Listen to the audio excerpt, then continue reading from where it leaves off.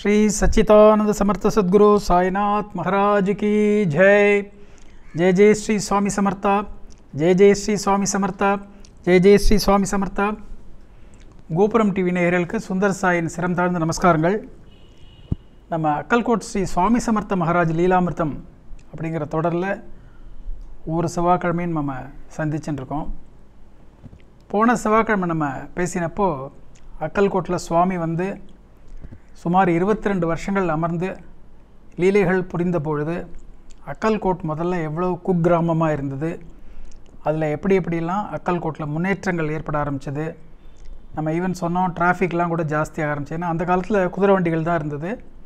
அந்த குதிரை வண்டியில் ஜனங்கள்லாம் வந்து வரதும் போகிறதும் அந்த அக்கல்கோட் ரோடு அப்படின்னு பேர் அந்த ரயில்வே ஸ்டேஷன்லேருந்து மகாராஜ் இருக்கிற இடத்துக்கு வரதும் போகிறதும் அதே மாதிரி ரொம்ப செழிப்பாக வியாபாரங்கள் தங்குற இடங்கள் உணக்கூடிய இடங்கள் உணவு சாலைகள் எல்லாம் அந்த மாதிரி ரொம்ப செழிப்பாக அக்கல்கோட் மா மாறிது அப்படின்னு சொல்லி நம்ம பேசியிருந்தோம்.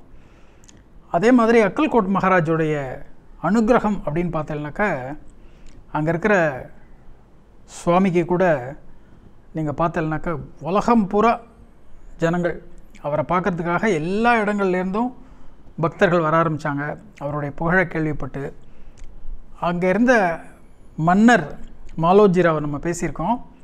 அவர் கூட சுவாமிகிட்ட ரொம்ப பக்தியோட வினயத்தோட பழகினார். அக்கல்கோட் சுவாமி சமர்த்தருடைய சக்கரவர்த்தித்தனம் அவர் மகாராஜன் கூட சொல்ல வேண்டாம் சக்கரவர்த்தி அக்கல்கோட் மகாராஜ் வந்து சக்கரவர்த்தியாகவே அங்கே வாழ்ந்தார். அதனால் அந்த மாலோஜிராவ் வந்தால் கூட என்ன பண்ணுவார் தூரத்துலேயே செருப்பெல்லாம் கழட்டி போட்டுட்டு ரொம்ப பவ்யமாக அவர்கிட்ட வந்து அவர் நமஸ்காரம் பண்ணுவார். ஏன்னா சுவாமிக்கு வந்து அந்த அகங்காரங்கிற விஷயம் இல்லாமல் ஏன்னா நம்ம பார்த்தோம்னாக்கா நம்மளை மாதிரி அவர் ஆர்டினரி கிடையாது. அக்கல்கோட்டில் மகாராஜ் வந்து அந்த மாலோஜிராவ் தான் மகாராஜ் அங்கே ஆனால் அவருக்கும் மேலே இவர் சக்கரவர்த்தியாக திகழ்ந்ததுனால இவர் மேலே ரொம்ப பக்தி சிரத்தையோடு வந்து வினயத்தோடு அவர் வந்து சுவாமி நமஸ்காரம் பண்ணுவார். அதே மாதிரி அவர் வரதுக்கு முன்னாலேயே இவருடைய மனோநிலை என்ன அப்படிங்கிறத பற்றி புரிஞ்சுட்டு வருவார். ஏன்னா சுவாமி எப்போவுமே ஒரே மாதிரி மனோநிலையில் இருக்க மாட்டார் உங்களுக்கு எல்லாருக்குமே தெரியும். அந்த மாதிரி அக்கல்கோட்டில் வந்து சக்கரவர்த்தியாக நம்ம சுவாமி சமர்த்தர் வந்து கோலோச்சி இருந்தார் அப்படின்னு சொல்லணும் நம்ம. அப்படி பண்ணும்போது விதவிதமான பக்தர்கள் வருவா உங்களுக்கு தெரியும். அந்த பக்தர்கள் வந்து கிட்டத்தட்ட நம்ம அவளை ஒரு செக்ரிகேட் பண்ணி பார்த்தோம்னா நாலு விதமான பக்தர்கள். அதில் ஒருத்தர் ஒருவா நமக்கு ரொம்ப கஷ்டமாக இருக்குது சுவாமி உடம்பு சரியில்லை அது இதுன்னு ஏதோ பிரச்சனைகளை சொல்லி இந்த கஷ்டத்துலேருந்து நிவர்த்தி கொடுக்கணும் அப்படின்னு கேட்குற மாதிரி ஒரு வகையான பக்தர்கள். அடுத்த வகையான பக்தர்கள் எப்படின்னு கேட்டால் வரும்போதே சுவாமிக்கிட்ட எங்களுக்கு சம்பத் வீடு வேணும் நிலம் வேணும் வசதி வேணும் வாழ்க்கை வேணும் அப்படின்னு சொல்லிட்டு ஓரளவுக்கு பேராசைன்னு கூட சொல்கிற அளவுக்கு அவளுடைய தகுதிக்கு மீறியெல்லாம் சுவாமிக்கிட்ட கேட்குறவாளாக வருவாள் இன்னொரு வகையான பக்தர்கள் பார்த்தேன்னாக்கா அவளுக்கு ஆன்மீகத்தில் மிகுந்த நாற்றம் இருக்கும். அந்த நாட்டத்தில் ஏதாவது அவளுக்கு சந்தேகங்கள் நிறைய இருக்கும். அந்த சந்தேகங்களை கேட்குற மாதிரி ஒரு வகையாக வருவாள் நான்காவது வகையாக வரவா வந்து ரிஷிகளும் முனிகளும் அவள் வந்து ஆன்மீகத்திலேயே வேறு லெவலில் இருக்கிறவா அவள் வருவாள் ஒவ்வொருத்தருக்கு ஒவ்வொரு எதிர்பார்ப்பு சுவாமிகிட்ட. ஆனால் இந்த முதல் ரெண்டு வகை தான் ஜாஸ்தி. இந்த கடைசி ரெண்டு வகை பார்த்தேன்னாக்கா ஆத்ம விசாரம் பண்ணுறவா இல்லை ஆன்மீகத்தை பற்றி விசாரம் பண்ணுறவா வரவா ரொம்ப கம்மியாக இருப்பாள் ஆனால் சுவாமி அவளுடைய ஸ்ரத்தைக்கு தகுந்த மாதிரி அவளுக்கெல்லாம் பதில் சொல்லி அவளை திருப்திப்படுத்தி அவளை ஆன் ஆன்மீகத்தில் வழிகாட்டுவார். அடுத்த ஃபோர்த்து கேட்டகரியாக வரக்கூடிய ரிஷிகள் முனிகள்லாம் தர்சன பாக்கியத்துக்காக வருவாள். ஏன்னா அவள் ஏற்கனவே வந்து ஆன்மீகத்தில் ஹையஸ்ட் ஃபார்மில் இருக்கிறவா. அவள் கண்ணை மூடினாலே அவளுக்கு எல்லா தரிசனங்களும் கிடைக்கும். இருந்தால் கூட சுவாமி பிரத்யக்ஷமாக நகமும் சதையுமாக இங்கே வந்து அவதாரம் எடுத்துருக்கிறதுனால அந்த சுவாமியை நேராக வந்து தரிசனம் பண்ணோம் அப்படின்னு சொல்லிட்டு ரொம்ப சந்தோஷத்தோடு ரொம்ப மன நிம்மதியோடு வந்து அவளும் தரிசனம் பண்ணிட்டு போவாள் இப்படி தான் சுவாமியுடைய தரிசனம்ங்கிறது வந்து ஒவ்வொருத்தருக்கும் ஒவ்வொரு விதமாக அங்கே கிடச்சிட்டு இருந்தது அந்த மாதிரி அக்கல்கோட்டில் நடந்துட்டு இருக்கும்போது சுவாமியும் பார்த்தீங்கன்னாக்கா குழந்த மனோபாவம் ஒரு இடத்துல உட்கார மாட்டார். நான் ஒவ்வொரு இடத்துலையும் மாறிண்டே இருப்பார். அதோடு இல்லாமல் விளையாட்டுத்தனம் எக்கச்சக்கம். நிறைய வளையல்கள் பண்ணி வச்சுருப்பார் அந்த வளையல்களில் பார்த்தீங்கன்னா சுவாமியோட உருவம் புதிச்சிருக்கும்.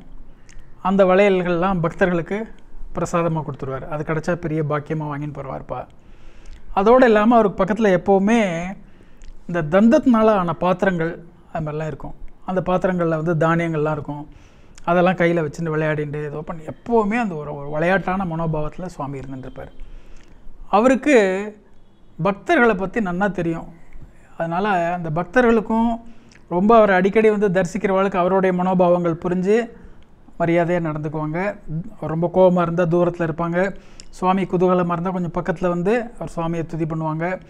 அது மாதிரிலாம் பண்ணும்போது சுவாமி வந்து நல்ல மனோநிலையில் இருக்கும்போது சில பேர் இந்த சோஸ்திரங்கள்லாம் சொல்ல ஆரம்பிக்கும் போது இல்லை கீர்த்தனைகள்லாம் பாட ஆரம்பிக்கும் போது சுவாமி தன்னோட கையை நீட்டி இப்படி ஒரு விரலை காமிப்பார். இந்த ஒரு விரல் காமிச்சார்னா ஒரு கீர்த்தனையில் ஒரு சரண் மட்டும்தான் பாடலாம். சில சமயம் ரெண்டு விரலை காமிப்பார். காமிச்சார்னா ரெண்டு ஸ்டான்ஸா அந்த மாதிரி பாடலாம். சுவாமி ரொம்ப சந்தோஷமாக இருந்தார்னா முழு கீர்த்தனையும் பாட அலோவ் பண்ணுவார். முழு கீர்த்தனையும் பாடினோடனே அவளை ரொம்ப ப்ளஸ் பண்ணி அவளுக்கு பிரசாதங்கள்லாம் கொடுப்பார்.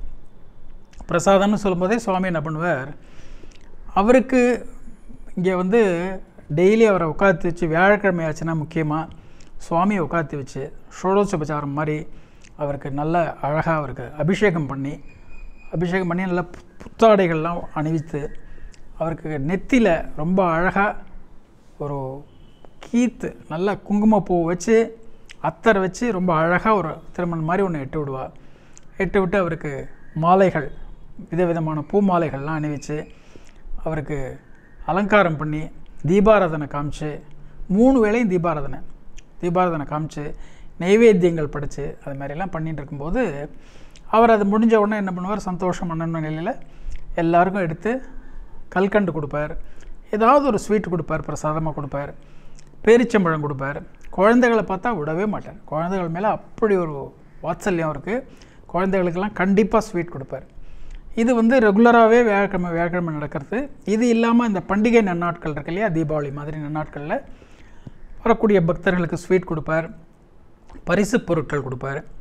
மற்ற மொஹரம் இதர மாதிரி இதர பண்டிகைகள் நடக்கிறப்போ அந்த இஸ்லாமியர்கள் வரும்போது அவ முக்கியமாக ஃபக்கீர்ஸ் அண்ட் அவுலியா அவள்லாம் வரும்போது அவளுக்கு பரிசுகளை கொடுப்பார். அதோடு இல்லாமல் இந்த பார்சி கிறிஸ்டின் இதில் இருக்கிறவா இருக்கா இல்லையா? அவா வருவா.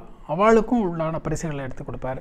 அது மாதிரி எந்த விதமான வித்தியாசம் இல்லாமல் எல்லா மதமும் சம்மதம் அப்படிங்கிற மாதிரி எல்லாரையும் சுவாமி வந்து அனுகிரகம் பண்ணுவார். ஏன்னு கேட்டால் இந்த மதங்கள் எல்லாமே கீழே தோன்றினது தான்.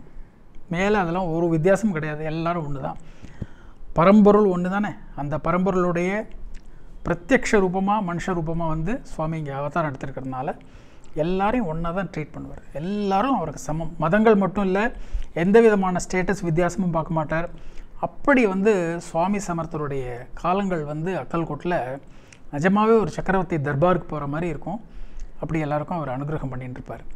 அப்படி அனுகிரகம் பண்ணிட்டு இருக்கும்போது இதுலேயும் ஒரு வித்தியாசம் இருக்கத்தானே இருக்கும். அது மாதிரி அந்த டயத்தில் வந்து ஒரு நாஸ்திகர் ஒருத்தர் அவர் வந்து வரார் அவர் வந்து பார்த்துட்டு அக்கல்கோட் சுவாமி சமர்த்தரை பார்த்துட்டு இவர் என்ன சும்மா ஏதோ மாயாவி மாதிரி இருக்கார். இவருக்கு என்ன பெரிய என்ன விஷயம் தெரிய போகிறது இவருக்கு? அப்படின்னு சொல்லிட்டு இவருக்கு வந்து உண்மையிலேயே இந்த மாதிரி நைவேத்தியங்கள்லாம் படைக்கணுமா? இந்த மாதிரிலாம் ஏன் அவருக்கு பண்ணணும்? அப்படின்லாங்கிற மாதிரி ஒரு இதுவாக மனநிலையோடு இருந்தார். சுவாமி வந்து உண்மையிலேயே துறவியாக இருந்தால் அவருக்கு கோபம்லாம் வரலாமா? ஏன் திடீர் திடீர்னு இப்படி கோச்சிக்கிறார்? அப்படின்னு சொல்லி அவரை பற்றி புரியாத ஒரு நாஸ்திகன் ஒருத்தன் அந்த மாதிரி அவரை பற்றி யோசிச்சுட்டே இருந்தான். அப்படி இருக்கும்போது சுவாமி இதை பற்றி கண்டுக்கவே இல்லை. சுவாமிக்கு தான் யார் என்ன மனசில் நினைச்சாலும் உடனே அவருக்கு தெளிவாக தெரிஞ்சிடும். அவர் எதுக்குமே அதை பற்றி கண்டுக்கவே இல்லை. அப்புறம் ஒரு பதினஞ்சு நாள் கழித்து அவர் எங்கே அந்த ஆலமரத்தடியில் இந்த நாஸ்திகன் அவரை பார்த்தானோ அதே இடத்துல அவர் உட்காந்துருக்கார் அங்கே பெரிய கீர்த்தனை நடக்கிறது. பெரிய கீர்த்தனை நடக்கிறது. ஒரு ஐநூறு பேர் வந்திருக்காங்க. அந்த கீர்த்தனை வைபவங்கள் நடக்கும்போது சுவாமி நேராக வந்துட்டு வந்து எனக்கு மட்டும் கோபம் வந்ததுன்னா இந்த ஐநூறு பேரையும் சமைச்சு சாப்பிட்ருவேன் அப்படின்னாரு. அதை பார்த்தோன்னா அவன் பயந்து போயிட்டான். நம்ம மனசில் நினச்சது இவருக்கு எப்படி தெரியும்? அப்படின்னு சொல்லிட்டு. அவர் தான் சொல்கிறார் திரும்ப திரும்ப அவர் சொல்கிற வார்த்தைகளை திரும்ப திரும்ப சொல்லிகிட்டே இருப்பார்.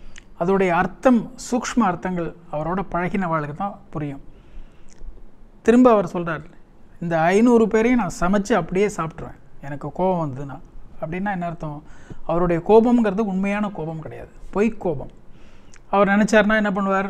ரொம்ப சந்தோஷமான மனோநிலையில் இருந்தால் எல்லோரும் வந்து நமஸ்காரம் பண்ணலாம் கீர்த்தனை பண்ணலாம்.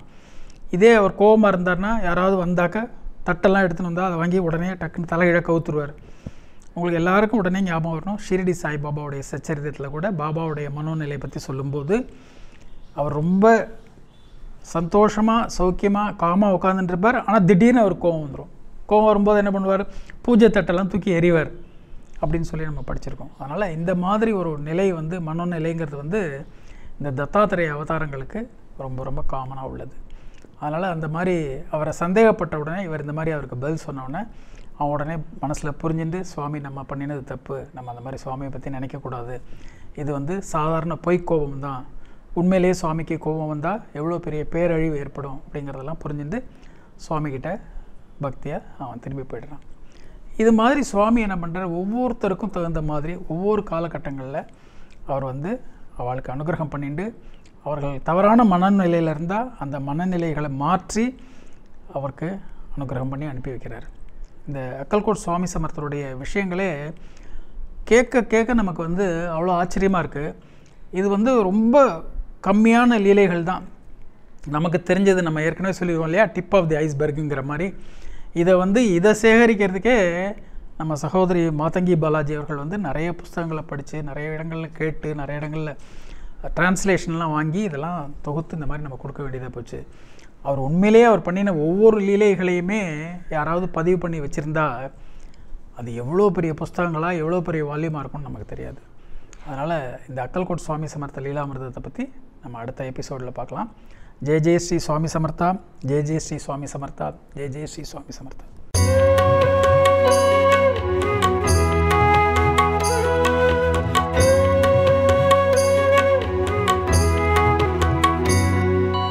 விதம் விதமான பக்தி நிகழ்ச்சிகளை உங்களுக்காக தந்து கொண்டிருக்கிறது உங்கள் கோபுரம் டிவி உங்களுக்கு பிடித்த நிகழ்ச்சிகளை லைக் செய்யுங்கள் உங்களுக்கு பிடித்த மாணவர்களுக்கு ஷேர் செய்யுங்கள் மேலும் சப்ஸ்கிரைப் செய்வதோடு மட்டுமல்லாது அருகில் இருக்கும் பெல் பட்டனை கிளிக் செய்து கோபுரம் டிவி நிகழ்ச்சிகளை உடனுக்குடன் தெரிந்து கொள்ளுங்கள். மற்றும் ஒரு மகிழ்ச்சியான செய்தி. கோபுரம் டிவி ஆப்பை கூகுள் பிளே ஸ்டோரில் ஃப்ரீ டவுன்லோட் செய்து கோபுரம் டிவி நிகழ்ச்சிகளை தொடர்ந்து கண்டுகளியுங்கள். பாருங்கள் ரசியுங்கள் பரவசமடையுங்கள். கோபுரம் டிவி டாட் காம் பக்தி பக்திமயம்